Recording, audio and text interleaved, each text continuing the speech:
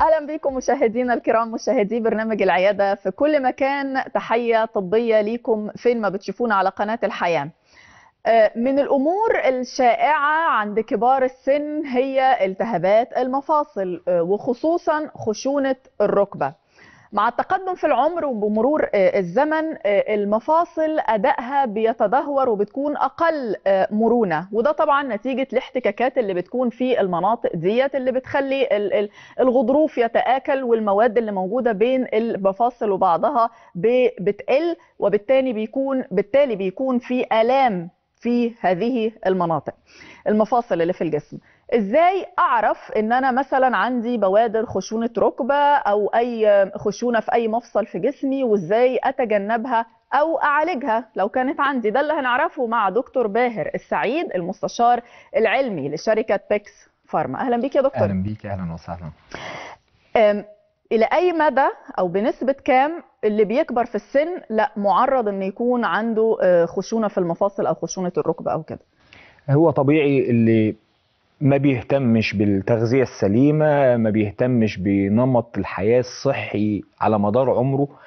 طبيعي مع تقدم السن بيحصل بداية تأكل بقى في الغضروف المفصلي اللي هو بيحمي المفاصل من من الخشونة من الاحتكاكات فيما بعد. التآكل ده كده كده بيحصل مع السن. لو ما اهتمش الشخص بالتغذية السليمة والمكملات الغذائية اللي بتعوض النقص عنده لو ما أخدش كالسيوم فيتامين د ما مارسش حياة صحية بشكل صحي 100% أكيد مع السن هيبان الكلام ده هيبان الطرقعه والفرقعة في مفاصله هيبان الآلام بتاع المفاصل. آه معظم آه الكبار السن آبائنا وأجدادنا بيشتكوا دايما في الصلاة أنا مش عارف أركع مش عارف أسجد. ده طبيعي مع مع السن. فعشان كده انت لو بادئ عندك الأعراض بتاعه مشاكل الركبة مشاكل المفاصل لازم تتعامل معاها من بدري. ما تسيبش الدنيا لغاية إيه هي بقى الأعراض يا دكتور؟ الإرهاصات الأولى اللي نعرفها يعني. الأعراض آه. طبيعي ألم شديد غير محتمل ممكن يزيد أثناء النوم. الطلوع السلم بيبقى صعب جدا. تورم واحمرار شديد في الركبة. أحيانا نتوءات وشكل غريب للركبة. تورم الركبة. ألم مهما حط دهانات كلام من ده مفيش فايدة. ما بيعرفش يسجد زي ما قلنا أو يركع في الصلاة. طلوع السلم بيبقى مشكلة بالنسبة له. كل الكلام ده علامات من علامات خشونة الركبة اللي هي ملهاش سن صراحة يعني. حتى في شباب دلوقتي بيشتكوا منها بس كبار السن بيبقى الفئة الأكبر. في موضوع خشونة الركبة قبل ما نروح على المكملات الغذائية والأكل وكده مين الأكثر عرضة؟ لأن حضرتك بتقول ده مش الكبار بس ده ممكن يكون الشباب كمان. وبالتالي مين الأكثر عرضة إنه يجيله خشونة الركبة؟ الأكثر عرضة أنا من رأيي الستات أكتر اللي هم بيبقى عندهم نقص في كالسيوم وفيتامين د زيادة الوزن. الناس اللي عندهم وزنهم زيادة بيبقى بيحمل على الركبة. الناس اللي بيلعبوا رياضات بتحمل على الركبة سواء بقى شباب أو كبار دي ملهاش سن. الناس اللي شغلهم بيحتم عليهم مشي كتير تحميل على الركبة كتير. يعني إجهاد الركبة الكتير على مدار السن الأشخاص دي بيبقوا معرضين أكتر لمشاكل الركبة. إمتى لازم أزور الطبيب حالا. لما ألاقي إيه تيبس فرقعة زي ما تيبس وألم جامد ما بيروحش باي مسكن. آه. آه ألم شديد واحمرار شديد وتورم شديد في الركبة. لازم أكيد ألجأ للطبيب على طول. ما ما استناش يعني. مشاكل الركبة كل ما تعاملنا معاها بدري كان أفضل. آه وممكن من البداية خالص ناخد حتى حاجات وقائية آه تحمي الركبة من مشاكلها. عشان كده ال Joint Fix بالقوة الخماسية اللي بنتكلم عنه هو من أنسب الحاجات اللي ممكن نعتمد عليها مش للعلاج بس حتى للوقاية من مشاكل الركبة لكبار السن فيما بعد. أول ما تبدأ تشتكي من أي قلق في الركبة ممكن تاخد حاجة زي موضوع ال Joint Pex.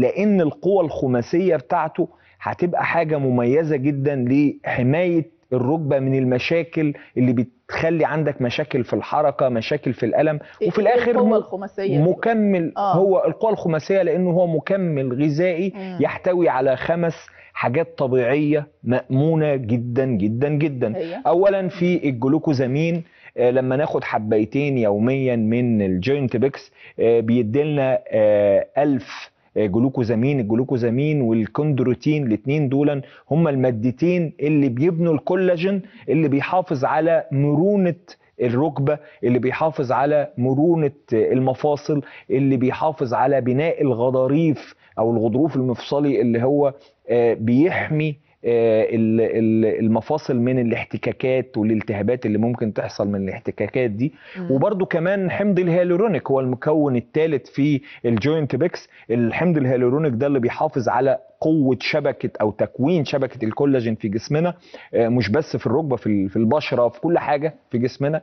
آه، برضو كمان في مادتين مهمين جدا حاجات طبيعية خالص اللي هو مستخلص ال- الأناناس ومستخلص ال ginger الاتنين دولا آه، واحد فيهم اللي هو مستخلص الأناناس بيقلل التورمات بتاعة الركبة زي مادة التريبسين اللي إحنا بناخدها في التورم بتاع ضرسنا أو آه. الالتهابات اللي بتحصل المادة التريبسين دي آه، دي مادة مادة كيميائية المادة الطب الطبيعية اللي بتأدي نفس الغرض اللي هي خلاصة الأناناس اللي موجودة جوه ال Joint Pex بتخليه يقلل التورم والالتهابات بالإضافة لل ginger الجنجر ده اللي هو مستخلص الجنزبيل. الجنجر آه، مميز إن هو مسكن طبيعي للألم بديل طبيعي للمسكنات. معظم أطباء العظام آه، دايما بيحبذوا الجنجر كحاجة آه، مسكن مضاد للالتهاب للناس اللي هم ممنوع ياخدوا مسكنات. يعني لو والدك أو والدتك ممنوع ممنوعين من المسكنات بسبب مشاكل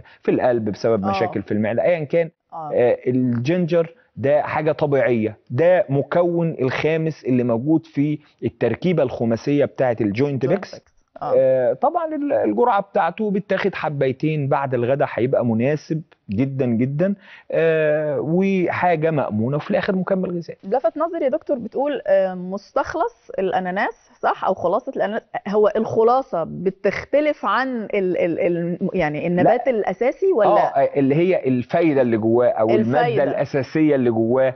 الحاجة اللي, اللي ليها فايدة طبية في الأناناس هي دي المادة اللي بت بتريح العظام أو بتقلل التورمات زي ال ginger نفس الكلام ده الحاجة المادة اللي هي اللي ليها فايدة طبية في الجنزبيل هم أخدوها. آه أنا قصدي إن أنا لو كلته بشكل direct هل ده لا بيساعد طبعا. ولا آه لا لا طبعا لسبب إن. ال- التركيز اللي موجود في في في الكبسولة ده معمول بشكل علمي بحيث ان هتحتاجي كمية ضخمة من الاناناس عشان تجيبي جرامات بسيطة من المادة دي مادة البرومالين. المادة دي آه، ال- اللي موجودة بالتركيز ده هي دي الفعالة. عشان كده في ناس تقول مثلا طب ما ناخد آه، جنزبيل ما انت شربت جنزبيل مش. هيعمل حاجة. لا بس هو التركيز العالي اللي موجود أو التركيز الطبي اللي موجود في الكبسولة اللي معمول بشكل طبي هو ده اللي هيبقى مؤثر.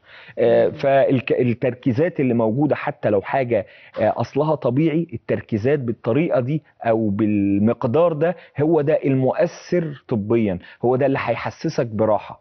بس. تمام. آه، آه، في vitamins طبعا يا دكتور بتلعب على المناطق ديت ال joints ال- ال- المفاصل سواء الركبة أو غيرها. إيه هي أبرز ال vitamins اللي إحنا بنبقى محتاجينها عشان آه، يعني نستهدف المناطق دي نعالجها؟ آه، ال- المالتي vitamins أو ال- الفيتامينات المهمة للمفاصل عظام يبقى فيتامين د وكالسيوم على طول. آه. يعني لما نيجي نتكلم عن عظام هو فيتامين د وكالسيوم. يعني وجد ان نقص فيتامين د ونقص الكالسيوم بيبقى لهم عامل رئيسي جدا في موضوع خشونة الركبة. الناس اللي عندهم نقص في فيتامين د والكالسيوم بيبقوا معرضين أكتر أو مشاكل خشونة الركبة بتزيد عندهم. لذلك برضو آه، ال- الكورس المكمل للموضوع ال Joint Pex إن في حاجة اسمها Vidi Pex ده فيتامين د تركيز 2000 زي ما قلنا ال Joint Pex بيتاخد قرصين بعد الغداء. الغداء. ال Vidi Pex حباية بعد العشاء تركيز 2000 وحده دولية ده فيتامين د. وفي نوع كالسيوم الكالسيوم بيتاخد صباحا آه، بيبقى برضو مهم جدا كالسيوم citrate اللي هو أفضل أنواع الكالسيوم اللي ما بيسببش بقى مشاكل في المعدة ولا إمساك ولا كلام من ده ولا. محتاج حمض معدة عشان يمتص آه، اسمه CDZ Pex ده بيتاخد حباية بعد الفطار الصبح والفيتامين د بالليل وفي النص فترة الغداء بناخد حبايتين آه، Joint Pex. والحاجات دي كلها سعرها في المتناول. بنفس كفاءة الأنواع المبالغ في ثمنها المستوردة ده منتج مصري سعره كويس على قد الإيد وفي نفس الوقت فعال جدا. عظيم. إحنا طبعا عارفين العلاقة اللي بين فيتامين د والكالسيوم. لو حضرتك ممكن تشرح لنا أكتر إزاي فيتامين د بيساعد على امتصاص الكالسيوم في الجسم؟ فيتامين د هو زي ما. العظام بصفة عامة آه، أو أو أي بناء. بنيجي نبنيه بنبقى عايزين آه، أسمنت ورمل ومية. فالأسمنت والرمل دول ال- ال- الفيتامين د والكالسيوم. من غير فيتامين د آه، ما ينفعش الكالسيوم يثبت في العظام. هم عايزين بعض بيرتبطوا ببعض عشان يتثبتوا في العظام. معظمنا معرض لنقص فيتامين. د بسبب عدم التعرض للشمس عدم أخذ اخده حتى من الأكل. فبنضطر دايما ناخده كمكمل غذائي. لذلك بننصح بال Vidi Pex كفيتامين د مكمل لكورس الخشونة الخماسي. يعني آه، زي ما هتاخد ال- ال Joint Pex بالقوى الخماسية لتدعيم ال- المفاصل لتدعيم الركبة لقوة الركبة ولمرونة الركبة. برضو محتاجين عظام قوية. عشان نبني العظام القوية دي محتاجين الكالسيوم اللي هناخده الصبح. وفيتامين د اللي هيثبته اللي هياخده بالليل. وفيتامين د لما ناخده بالليل كمان بيحسن جودة النوم بشكل كبير جدا لأنه برضه بيعمل زي توازن هرموني في آه. جسمنا بيقلل هرمون التوتر فبيساعد على نوم أفضل. طيب يا دكتور الكورس اللي حضرتك بتقوله ده بالجرعات اللي حضرتك وصفتها ديت هل هي آه، مناسبة لكل الأشخاص أم آه، حسب الحالة؟ آه، وهل آه، أو خليني خليني النص التاني من السؤال أجله بعد إجابة حضرتك هل ال- الكورس ده لكل الأشخاص أيا كانت حالتهم ولا لأ بيبقى هو طبعا إحنا بنتكلم معتمد على في حاجة. في الوقاية أو في بداية المشاكل اللي إحنا حد عايز ياخد حاجة تحميه من مشاكل الخشونة أو already عنده وعايز ياخد حاجة طبيعية بعيدة عن المسكنات آه، بعيدة عن ال chemicals بصفة عامة دي حاجات طبيعية مأمونة. آه، طبعا الجرعات ممكن تزيد ممكن نحتاج في الحالات الشديدة آه، ياخد بقى مسكنات معاها مضادات التهاب معاها في الحالات الشديدة قوي بس طبعا بإشراف الطبيب. إنما ده الحاجات اللي هي إحنا بنتكلم عن حاجات آمنة ما فيش منها مشاكل آه، ممكن ناخدها. لجميع البالغين لأي سن ما فيش مشكله ما عدا طبعا لو واحدة حامل ومرضع مثلا. لازم أكيد بإشراف الطبيب. لو آه، واحد عنده مشاكل كبيرة في القلب لازم أكيد بإشراف الطبيب. لو حد عنده قرحة في المعدة لازم ياخد حاجة للمعدة معاه أو برضه بإشراف الطبيب. إنما لو ما عندكش مشاكل من دي فهو مأمون في الآخر. مكملات غذائية بت بت بتحمي الركبة من المشاكل اللي كلنا بنتعرض ليها. آه حضرتك جاوبت على النص التاني من السؤال اللي كنت هسأله إن هو آه، آه، يعني اللي حضرتك بتقوله ده هيبقى وقاية وعلاج يعني أستخدمه لما أكون تعبان وأستخدمه لو أنا عايز يعني أتحسب لأ على حاجة تتحسني من. الحالة. ومثلا الموضوع مثلا خايفة من من أخذ مسكنات عمال على بطال ناس كتير بتقلق من كتر المسكنات ومضادات الالتهاب اللي آه. عمال على بطال وطبعا في الحالات الشديدة قوي بقى لازم أكيد الطبيب هيبقى له آراء تانية أو إضافات تانية على الكورس آه، هل ال Vite أو ال- ال course ده آه، ممكن أخده مني لنفسي يعني أبدأ أتواصل معاكم ومحتاجة ال course ده ولا لأ بتنصح بحاجة معينة؟ في فريق من المتخصصين بيردوا على الاستفسارات بتاع الناس والمناسب ليهم بي بيعرفوا الناس عليه والحالات اللي محتاجة اللجوء لطبيب أكيد ط- الفريق المتخصصين بيوجهوهم للطبيب المختص. آه يعني هم الفريق اللي عندكم هو اللي بيوجه المريض مش مجرد إنه حد عايز فبتدوله لا لا وخلاص طبعا لا لو في حالة محتاجة طبيب محتاجة جراحة م- بنوجهه طبعا أكيد للطبيب. عظيم. ال- الفريق اللي أنتوا فيه يا دكتور اللي آه، بيوصي بال course ده إيه ابرز الاسئله اللي بتسالوها لل... للمرضى عشان تعرفوا مثلا ما أعرفش ال history الطبي بتاعه؟ آه بالظبط أكيد بنسال عن هل هو مريض قلب عنده مشاكل صحيه هل في ادويه بياخدها بتتعارض ما بتتعارضش؟ أكيد كل الاسئله دي بن بنسالها. برضه بنسال إذا كان عنده مشاكل في المعده ما عندوش مشاكل في المعده. آه كل الحاجات دي لازم وبرضه تحاليل. يعني آه. أكيد آه يعني مثلا هل عملت تحاليل لفيتامين د وكالسيوم قبل كده ولا لا؟ آه مثلا حد عنده فيتامين د بتاعه عالي كويس مش محتاج فيتامين د هنديله فيتامين د ليه آه يعني مش. لازم ال course على آه بعضه ما هو لو لو آه. لو هو تمام مش محتاج خالص. وال lifestyle بتاعه بيفرق في آه أكيد في. طبعا طبعا وإحنا دايما بننصح الناس برضو يعني لما تاخد دواء يحسن ركبتك لازم تغير نمط حياتك إنك لو وزنك زايد لازم تخس أكيد يعني مم. لو آه، حد مثلا آه، بيضغط على ركبته في تمرين معين رياضة معينة لأ حاول آه، آه، تنظم نفسك أكتر. لو بيجي لك آلام من المفاصل أثناء الرياضة لازم تعمل إحماء قبل التمرين لازم آه، مع التمرين ال- الحاجات ال- أو التمرينات اللي بتضغط على الركبة تحاول تخفف منها. ال- ال- النصايح وال lifestyle لا مهمة طبعا مع. أخيرا يا دكتور نتواصل معاكم إزاي ونقدر نحصل على ال course ده إزاي؟ الأرقام بتاعتنا واضحة وفي فريق مختص بيرد على أي حاجة آه هل في مثلا page على ال social media ولا بس الأرقام اللي إحنا حاطينها الأرقام؟ موجودة وبرضو أكيد الصفحة بتاعتنا معروفة وأي حد يتفضل. إحنا بنشكرك شكرا جزيلا يا دكتور. دكتور باهر السعيد المستشار العلمي لشركة بيكس فارما. بنشكره شكرا جزيلا وكمان بنشكركم مشاهدينا ودايما خليكم معانا في العيادة على قناة الحياة.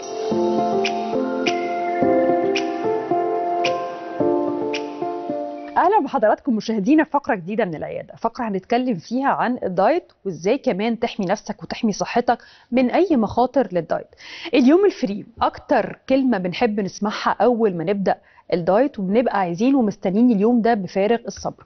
لكن أقاويل كتيرة حول إن هو يوم ولا وجبة.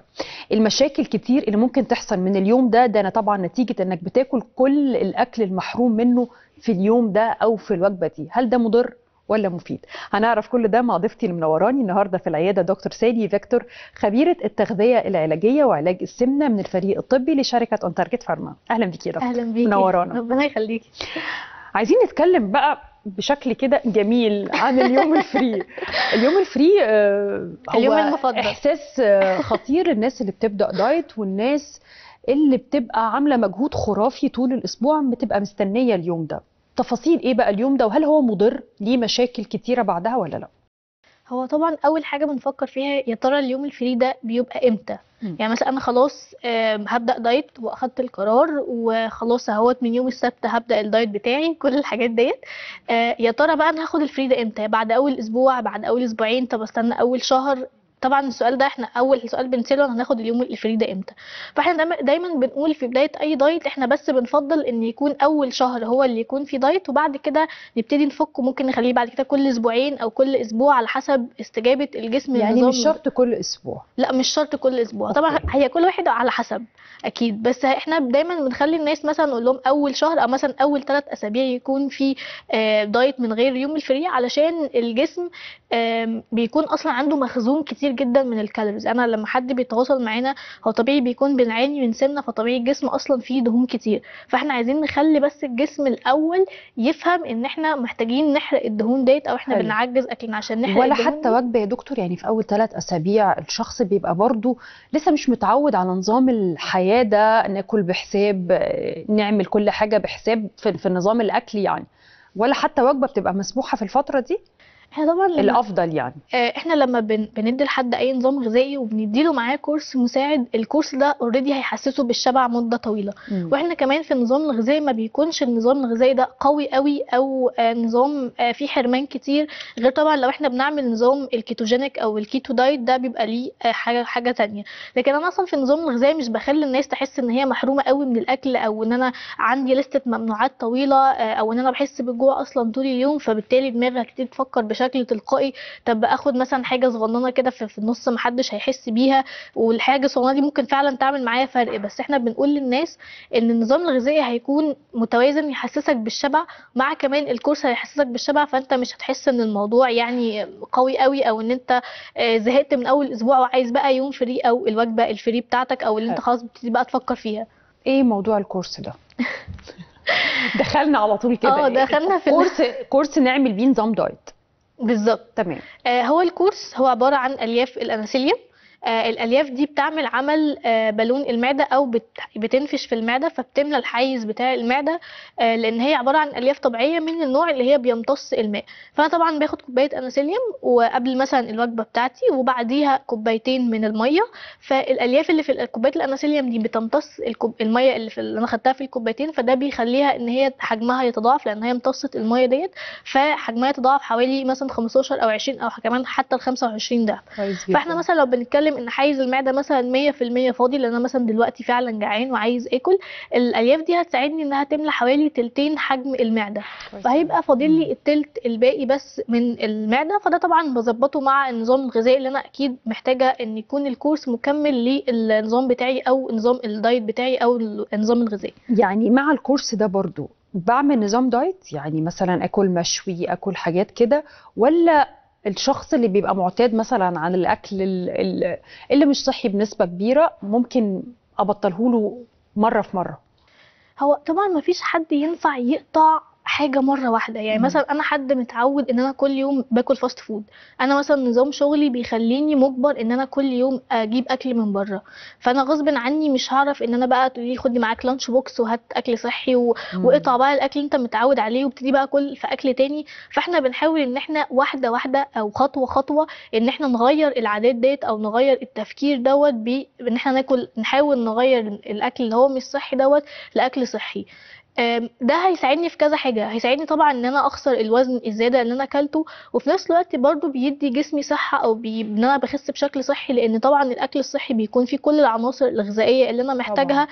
لكن الاكل مثلا مش صحي مش هيديني كل العناصر دي. هو بيبقى focus مثلا أكتر على الدهون أو الكربوهيدرات مش هيبقى مثلا في صح. نسبة عالية من البروتين أو مثلا آه في vitamins أو minerals جسمي محتاجها. فطبعا طبيعي الجسم بيفقد كل شوية المعادن والفيتامينات دي. عشان كده دايما آه، لو حد تواصل معانا في شركة اون تارجت فارما هو أصلا متعود على أكل غير صحي لفترة طويلة.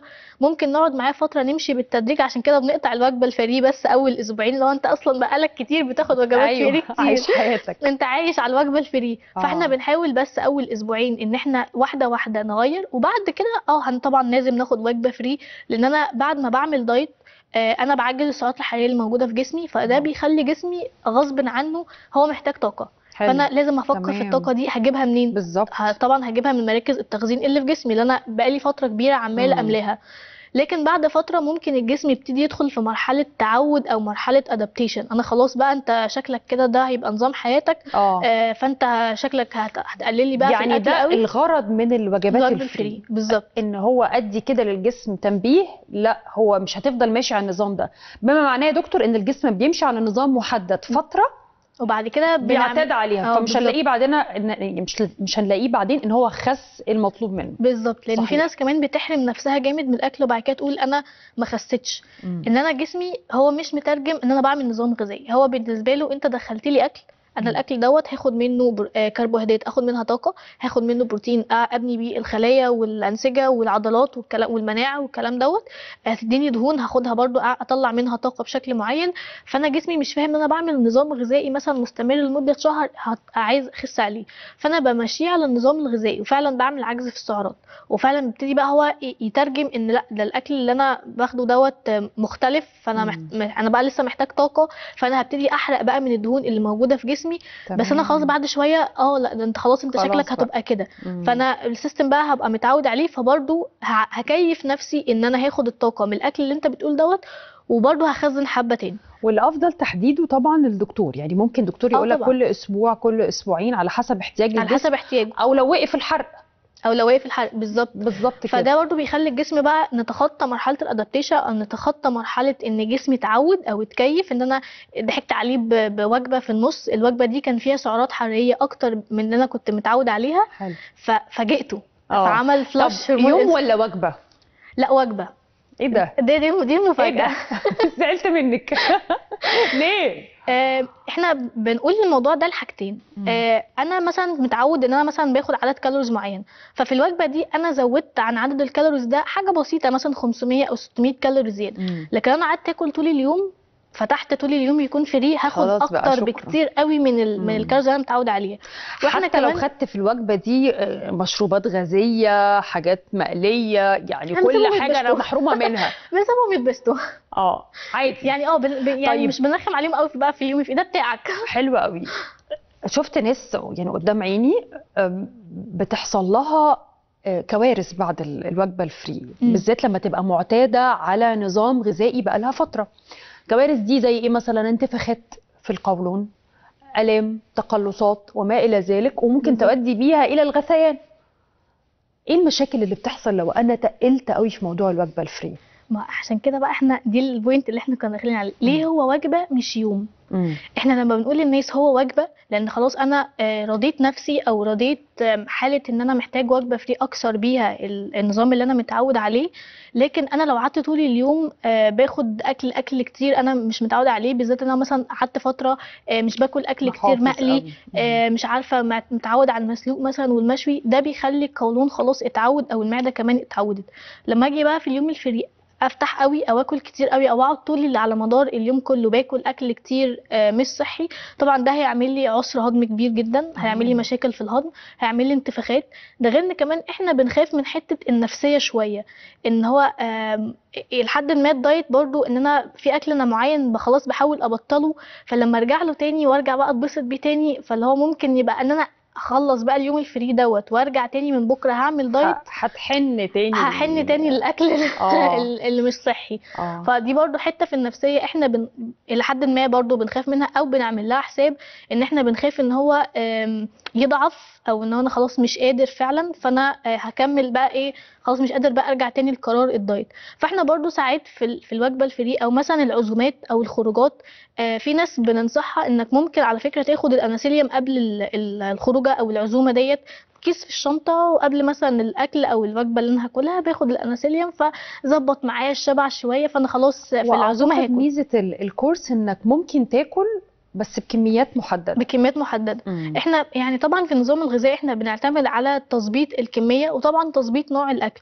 بس أنا برضو مش يعني مش هنخلي الناس تبقى طول الوقت حارمه نفسها قوي لأن برضو ده هيتع... هيترسب في عقلها الباطن إن أنا محروم جدا أو إن أنا مش قادر أو الدايت ده آه، صعب أو الرحلة دي صعبة وأنا خلاص اتخنقت أو مش قادر. فأنا بقى زهقت وعايز أعمل stop أو عايز أوقف. فإحنا طبعا قبل الوجبة ال free ممكن ناس كتير تقول لك طب أنا خارج مع أصحابي آه، أنا عندي عزومة آه، أنا مثلا عندي عيد ميلاد ومحتاج آكل مثلا تورتة أو جاتو أو ده عيد ميلادي فأنا ما ينفعش يبقى عيد ميلادي وما أكلش مثلا حلويات أو تورت آه. أو جاتو أو كده فبرضه ساعات دايما أو يعني معظم الناس بننصحها إن أنت ممكن تاخد كورس الانسيليوم قبل الوجبة ديت أو قبل العزومة ديت قبلها بقد إيه مثلا آه، قبل الأكل بساعة ساعة؟ أو مثلا. بساعة إلا ربع ده هيساعدنا إن إحنا آه آه، هناكل اللي إحنا كان نفسنا فيه في العزومة أو في ال في, ال في مثلا في العيد ميلاد أو في الاحتفال اللي أنا فيه. وفي نفس الوقت أنا ما فتحتش قوي في الكميات يعني ما اكلتش كمية كبيرة ان أنا برضو ده ساعدني إن أنا أحس بالشبع.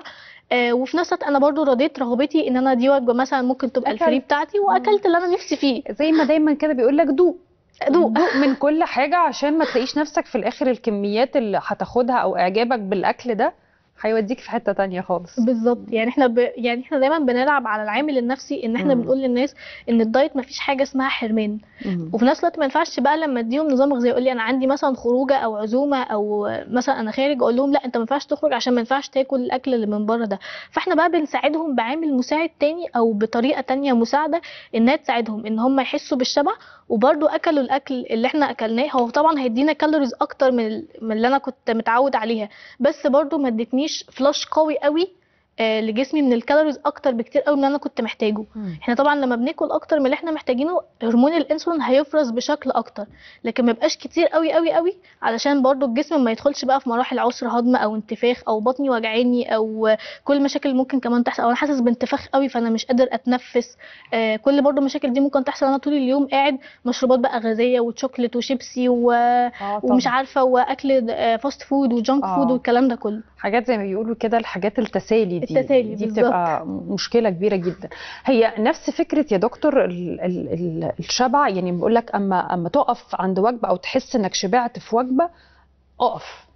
هي الأنسيليوم الموضوع العكس بيديك إحساس بالشبع علشان ما تدخلش قوي في الموضوع. بالظبط. آه. هو طبعا إحنا في ناس كتير كمان من اللي اتواصلوا معانا في شركة On Target Pharma بيقولوا لنا أنا ممكن آخد الأنسيليوم وأحس أنا مش قادر آكل.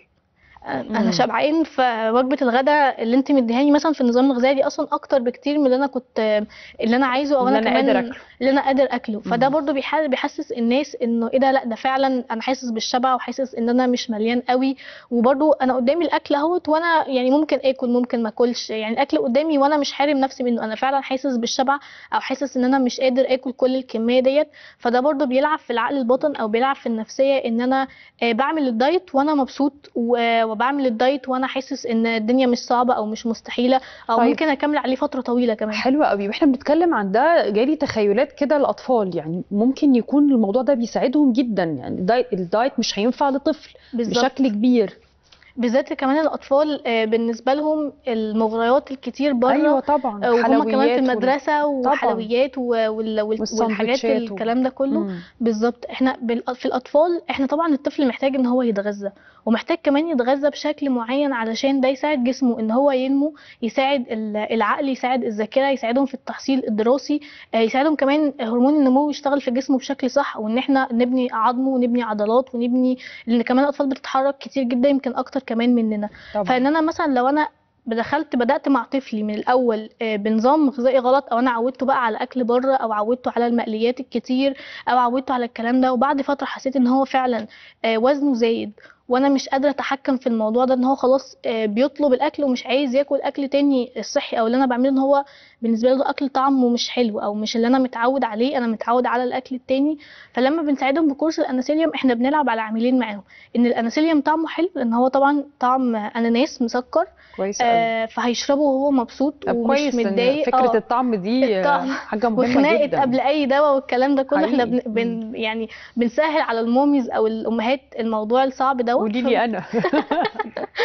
إحنا كلنا بنعاني منها. أيوه موضوع تغييرات الفصول ده بتخلي طبعا نزلات البرد والمشاكل اللي بتحصل ونقص مناعة وكده كل الحاجات دي طبعا بتعمل مشاكل. ففكرة الطعم ده مهم قوي للأطفال. آه طبعا. وبرضه في نفس الوقت أنا حسست الطفل بالشبع من غير ما نحرمه. أنا برضه هأكله وهعمل له نظام غذائي مختلف عن حد كبير أو حد عايز ينزل في الوزن.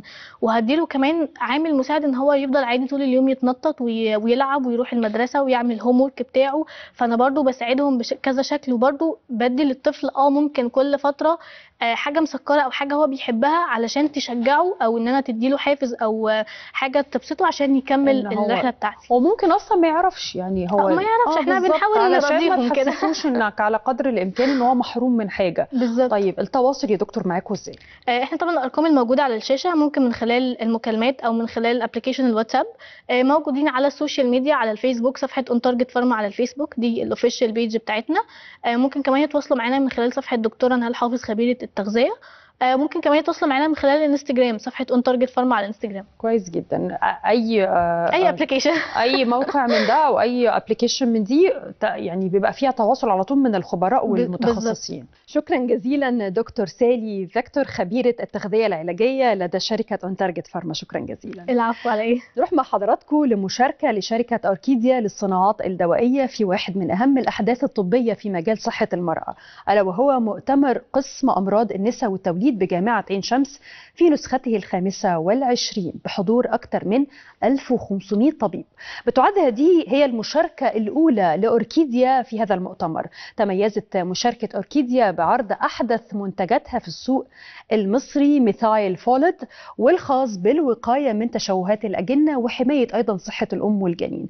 كما عرضت منتج Lipoferric Folic وطبعا هو منتج بتقنية مبتكرة تقنية ال liposome واللي كمان بتكون ضمن أفضل امتصاص للحديد من خلايا الجسم وبيدعم أيضا إنتاج خلايا الدم الحمراء وبيقلل من الآثار الجانبية والكثير من التفاصيل. جدير بالذكر كمان Methyl Folate أول منتج في مصر بيمتزج ما بين حمض الفوليك النشط وبي 12 من أهم الفيتامينات اللي بتحتاجها المرأة الحامل وبيحقق طفرة نوعية اقتصادية في مجال الصناعات الدوائية في مصر بعدما كان الاعتماد كليا على استيراده من الخارج وبأسعار باهظة. نتابع مع حضراتكم.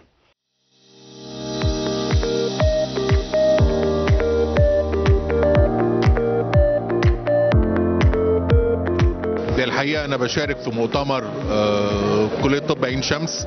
أظن اليوبيل الفضي النهارده في المؤتمر ده. ببرزنتيشن عن الولادة القيصرية أسباب الزيادة أو الارتفاع الزايد قوي في معدلات الولادة القيصرية في مصر والأسباب والتوابع الاقتصادية على هذا الكلام.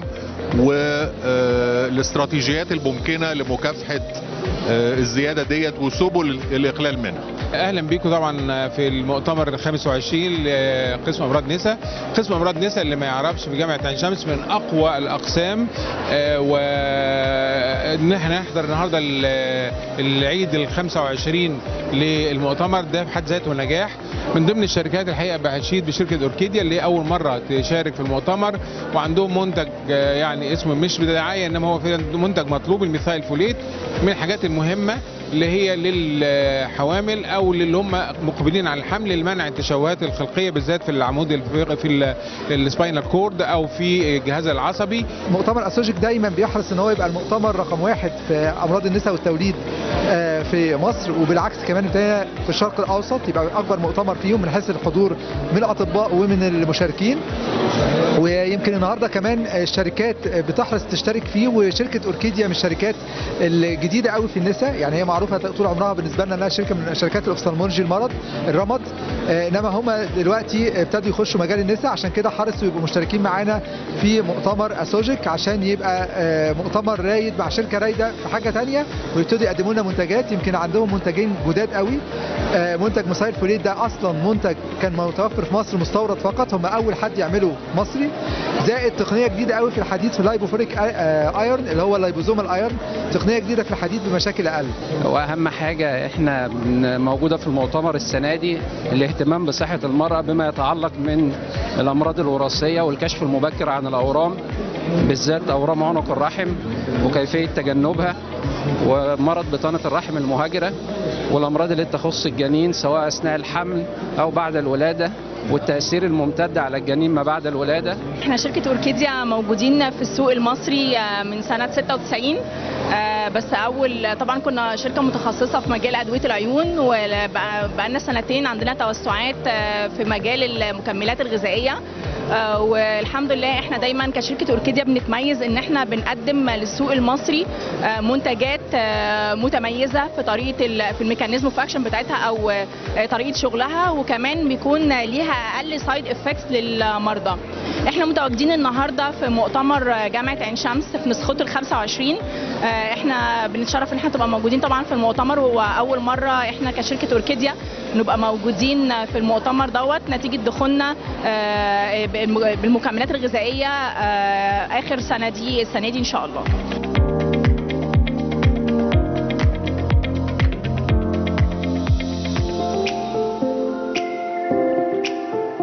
بكم مشاهدينا أينما كنتم مشاهدي العياده على قناة الحياة. بنرحب بيكم وبنتمنى تكونوا دايما في صحة وعافية. حالات الصفر أو انعدام الحيوانات المنوية. واحد في المية من الرجال عامة دي الإحصائية بتقول كده وخمستاشر في المية من الرجال المصابين بالعقم بيعانوا من حالة الصفر أو انعدام الحيوانات المنوية في السائل المنوي. طبعا بتبقى خضة وبيبقى فزع ورعب كبير وحاجة غريبة إنه آه، شخص يسمع المعلومة دي عن نفسه. ولكن الطب كل يوم بقى فيه جديد وبقى فيه علاجات كتيرة بنسمع عنها بره مصر وجوه مصر. ومصر الحقيقة بتتفرد كمان بمراكزها وخبراتها بعلاجات وبأحدث العلاجات كمان في هذا آه، المضمار تحديدا واستعادة خصوبة الرجل من جديد وقدرته على الإنجاب بشكل طبيعي. في فقرتنا ديت هنتكلم تحديدا عن الجديد. إيه آخر ما توصل ليه العلم والطب في علاج حالة الصفر أو انعدام الحيوانات المنوية مع أحد الخبراء في هذا المجال؟ الأستاذ الدكتور خالد حافظ استشاري آه، جراحة الذكورة والعقم والضعف الجنسي بمركز مصر للذكورة وزميل يونيفرسيتي كولج لندن بإنجلترا ومدرس بكلية الطب جامعة طنطا. أهلا بيك يا دكتور. أهلا وسهلا ازي يعني إيه بقى؟ نفهم الأول كده. إيه المعدل الطبيعي اللي على اساسه نقول لأ ده في انعدام أو في ندرة؟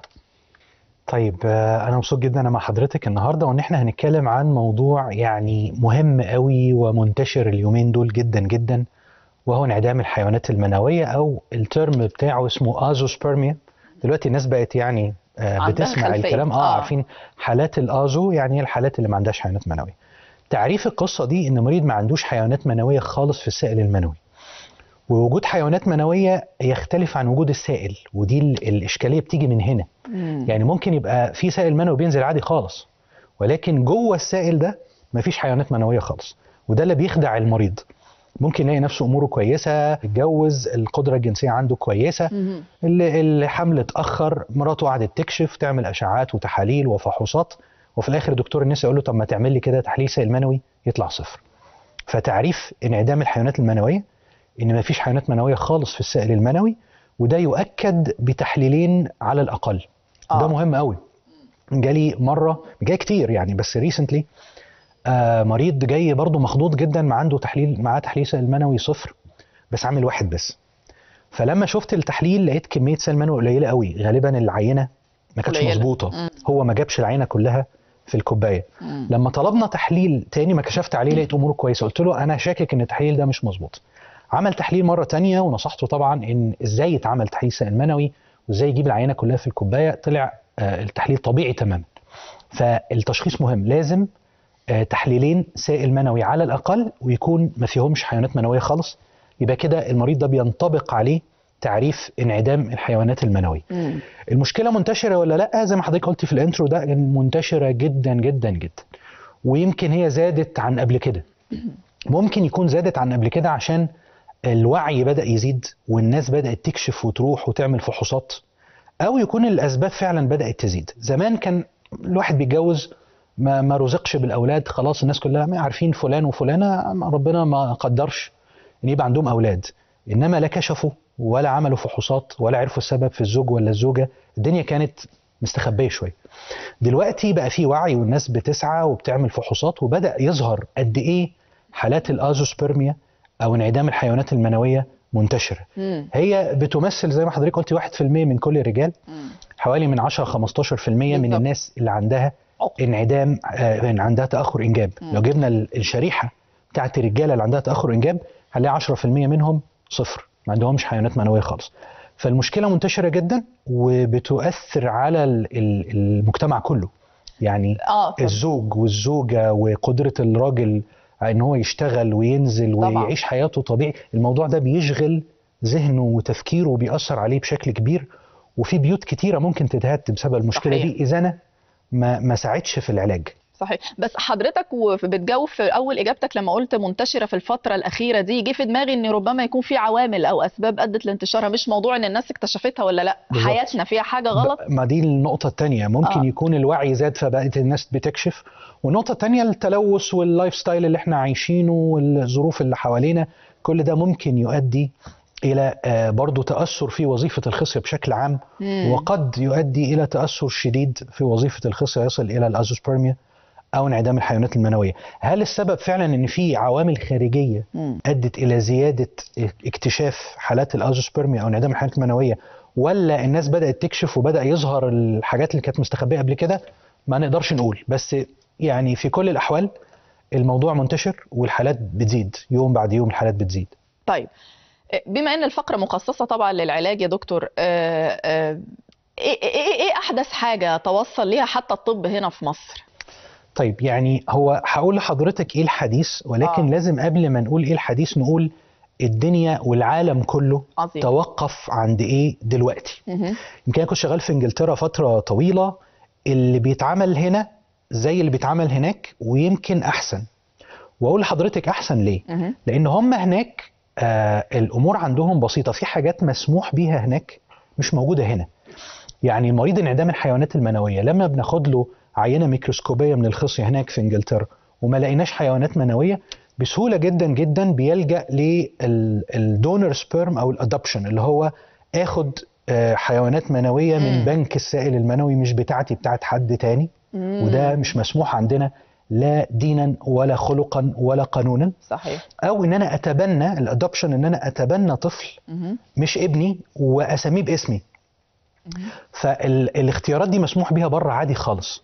فما بيرهقوش نفسهم في العلاج أنا عملت عينة ما فيهاش donor sperm adoption full stop الموضوع خلص.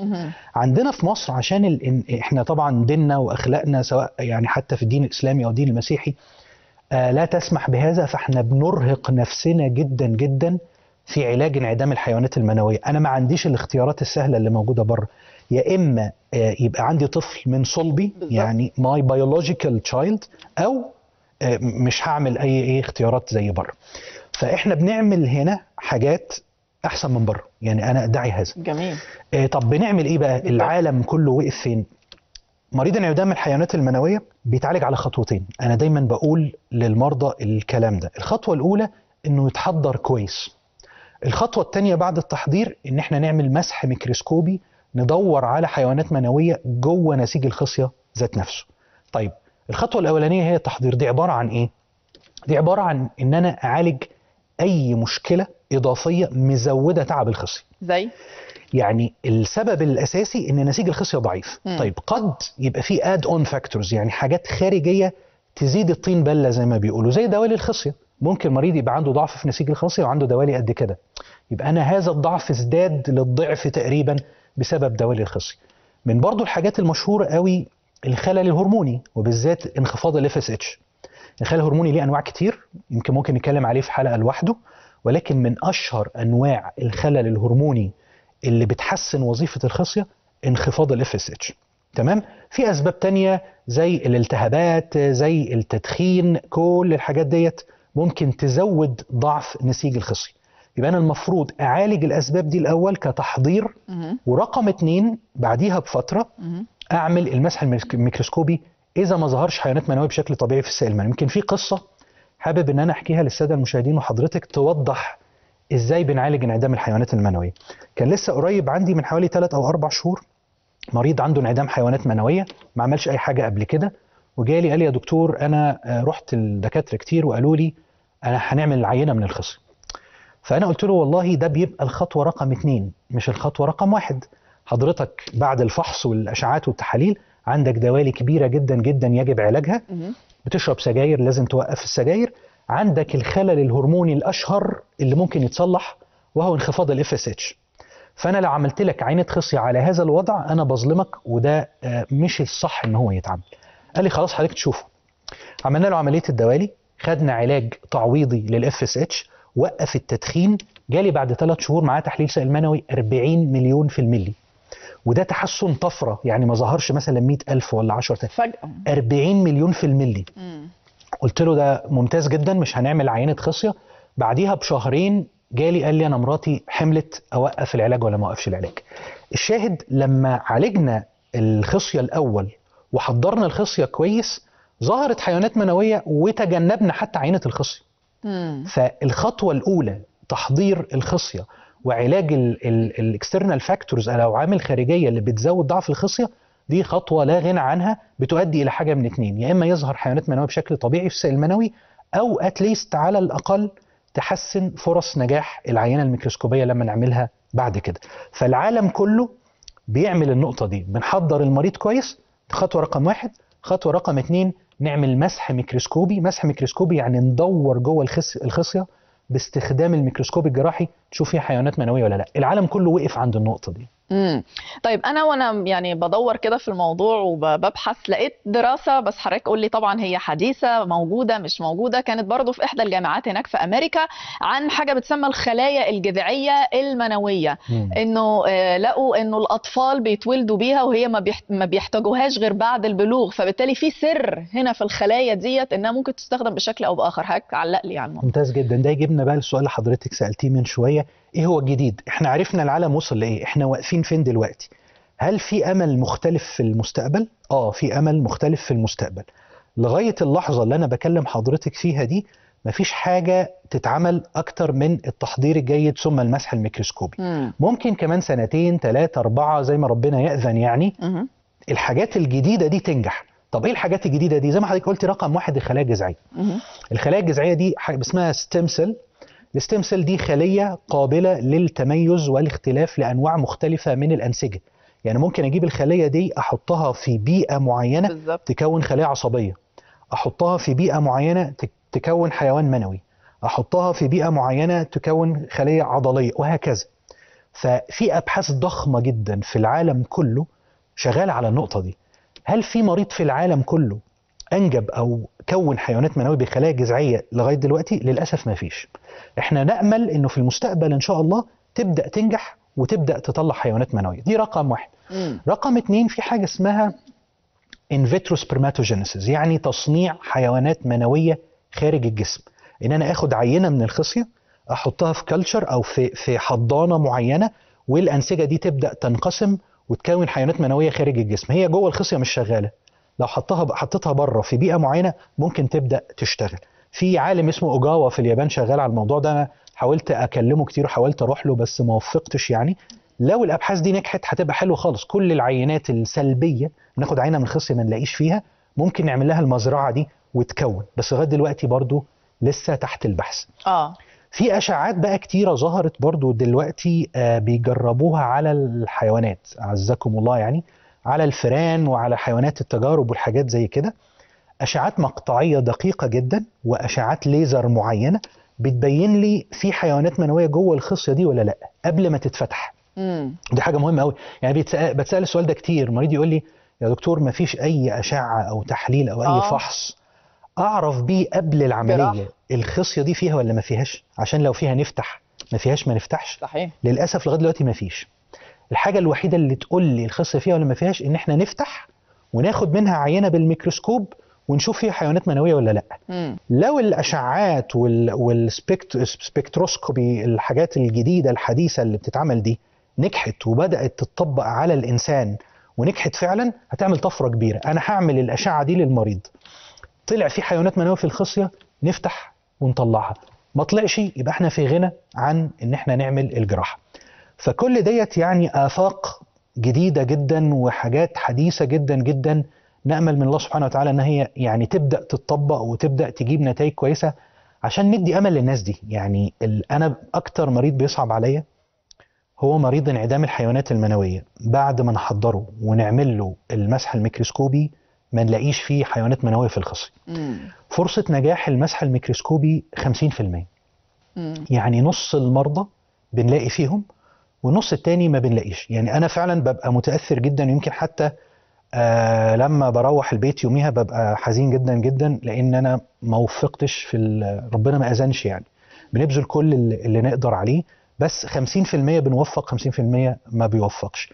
ودايما ال- المركز عندنا بيبقى كل الناس بتعيط يعني. اللي وفق بيبقى دموع الفرحة واللي ما وفقش بتبقى دموع الحزن يعني. ف... فموضوع شوية ايموشنال يعني. طبعا أنتوا بتحيوا إنسان وأسرة من أول وجديد بالظبط. يعني. أنا دايما شغلي الشاغل حتى وأنا نايم ساعات آه. بحلم بالحاجات دي.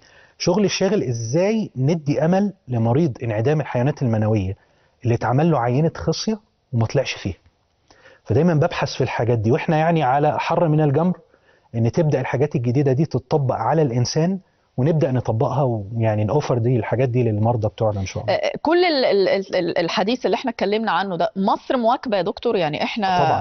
آه ما- طبعا. في the latest يعني. أنا قلت حضرتك أنا آه. كنت شغال في إنجلترا إحنا أحسن من هناك. هناك ما بيرهقش نفسه ما تعبش نفسي. أنا عملت عينة خصية حتى لو عادية ما لقيتش. روح للبنك بتاع السائل المنوي خد لك عينة وخلاص. هنا لأ إحنا حريصين جدا. نحضر المريض كويس. المسح الميكروسكوبي ممكن أقعد ساعتين بعمل المسح الميكروسكوبي بدور في خصية صغيرة قد كده. ساعتين عشان ده الأمل الأخير للمريض. فإحنا لا بالعكس هنا أحسن من بره. في ناس بتجيلنا من بره تعمل عندنا. عظيم جدا. السؤال الأخير الإجابة بسرعة قوي آه، بيبقى فيه آه، آه، آه، يعني إنجاب بشكل طبيعي ولا لأ؟ بيبقى فيه بقى حقن مجهري ومش عارفة إيه و... إنجاب بشكل طبيعي في المريض يعني اللي أنا. حكيت لك قصتك قصته لحضرتك دي ان هو طلع طبيعي. أيوه. إنما لو ما طلعش طبيعي وطلعنا من الخصية لازم حقن مجهري طبعا لازم حقن مجهري. إحنا بنشكر حضرتك يا دكتور. شكرا جزيلا. الأستاذ الدكتور خالد حافظ استشاري آه، جراحة الذكورة والعقم والضعف الجنسي بمركز مصر للذكورة وزميل يونيفرسيتي كولج لندن بإنجلترا. ومدرس بكلية الطب جامعة طنطا.